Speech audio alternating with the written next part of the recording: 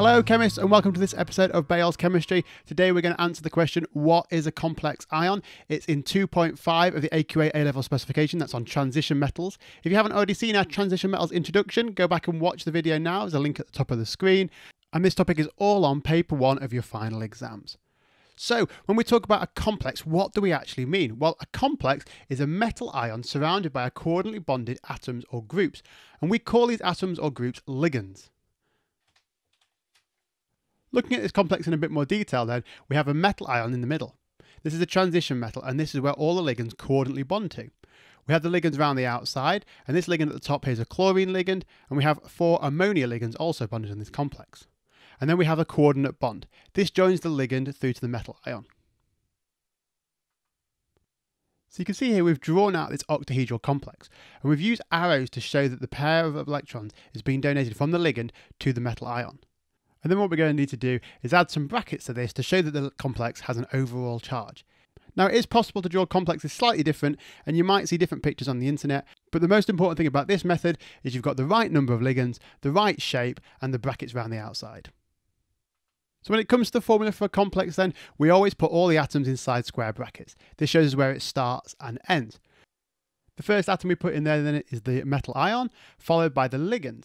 Now the ligands, if they've got multiple atoms in them, so they're like water or ammonia, we put them inside the brackets. After the brackets, we put the number of ligands that are present, and then to finish it off, we just have the overall charge outside the square brackets. We'll now look at the formula for two different complexes and break down what's inside them. We'll start with this copper complex. We can see that it's got a metal ion of copper, it's got six ligands, those ligands are water, and it's got an overall charge of 2+. plus. For the second example, we'll look at a cobalt complex. The metal ion now is cobalt. It has still has six ligands. It's got two chlorine ligands and four ammonia ligands. And it's got an overall charge of 1 plus. When it comes to learning about ligands, there are three categories of ligands we need to know. They're categorized by their dentate, or their number of coordinate bonds that they form.